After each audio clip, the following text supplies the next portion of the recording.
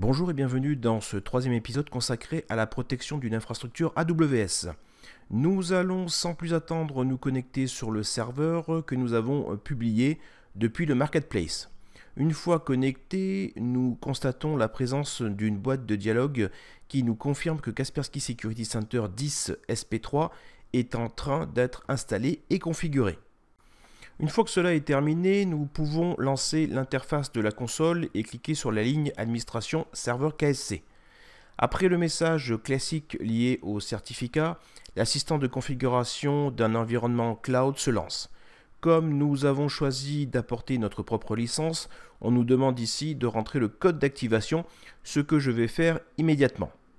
Après une rapide vérification en ligne, le code d'activation est accepté. Nous pouvons passer l'écran suivant, mais si besoin, configurer selon votre choix. La page suivante est importante puisque nous avons la possibilité ici de synchroniser l'arborescence AWS avec l'arborescence de Security Center. Je vais le faire ici pour vous montrer ce que ça donne, mais cela va construire une arborescence en se basant sur les zones de disponibilité et les VPC.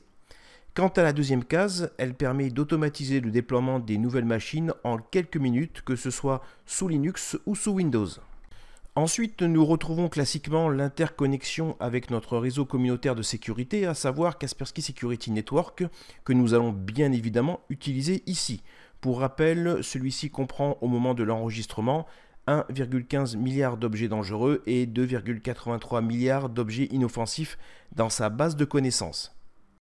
Optionnellement ici, vous pouvez rentrer une adresse email par défaut qui recevra les différents rapports et alertes de fonctionnement.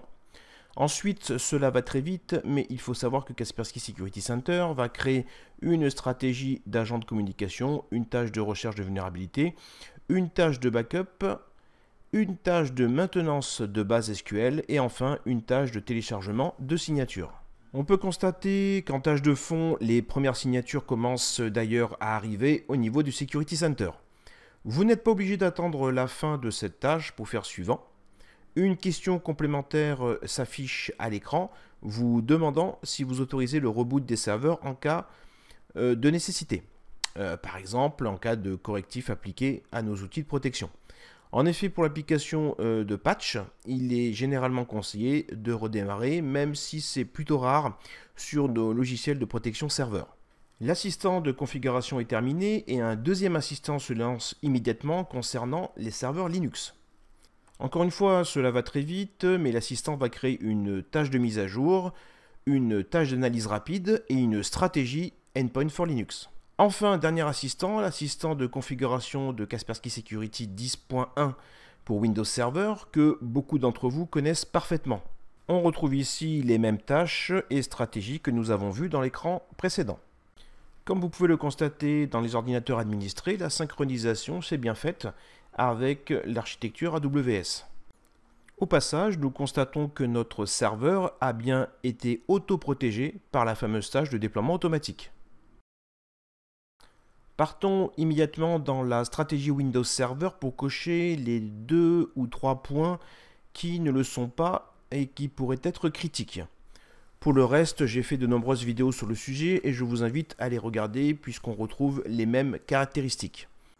Rendez-vous donc dans la section KSN pour autoriser celui-ci. En effet, pour des raisons juridiques, cela n'est pas coché par défaut, ce qui est bien dommage.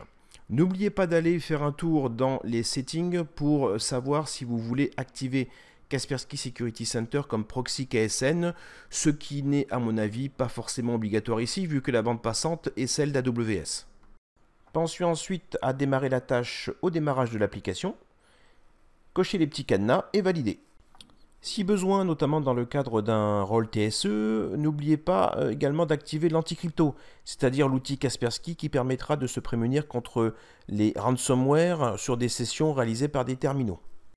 Côté stratégie agent de communication, pas grand-chose, mais je vous invite quand même à aller protéger euh, celui-ci par un mot de passe. Enfin, direction la stratégie pour les serveurs Linux, comme pour la version Windows, L'urgence ici va être d'activer le Kaspersky Security Network puisque cela n'est toujours pas fait par défaut. Et bien sûr, si besoin, vous activerez également l'anti-crypto de partage. Attention, du côté des tâches, vérifiez bien une par une qu'elles soient bien programmées, soit de façon hebdomadaire ou quotidienne pour les tâches d'analyse complète ou partielle, soit de façon horaire pour les tâches de mise à jour de signature Linux et Windows. Enfin, n'oubliez pas de créer la tâche de mise à jour des modules, c'est-à-dire la tâche qui va patcher automatiquement Kaspersky Security pour Windows Server 10 SP1. L'écran le plus important dans cet assistant de création, c'est bien sûr celui-ci, nous allons bien évidemment autoriser l'application à installer le correctif. Terminons en la programmant par exemple une fois par semaine, même si les patchs sortent de manière beaucoup plus espacée. Terminons cette vidéo qui a dépassé allègrement les deux minutes par la tâche d'installation de protection automatique des serveurs. Comme vous pouvez le constater, euh, celle-ci se lance de manière horaire, mais comme la case Lancer les tâches non exécutées est cochée, Finalement, l'installation se fera au bout de quelques minutes dès qu'un serveur Windows ou Linux sera détecté dans vos VPC. Merci d'avoir suivi cette présentation et comme d'habitude, n'hésitez pas à vous abonner à la chaîne et à poser vos questions dans les commentaires.